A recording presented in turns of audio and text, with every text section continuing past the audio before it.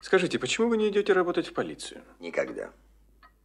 Пусть они ко мне приходят. Да они так и делают, когда у них попадается какое-нибудь запутанное дельце.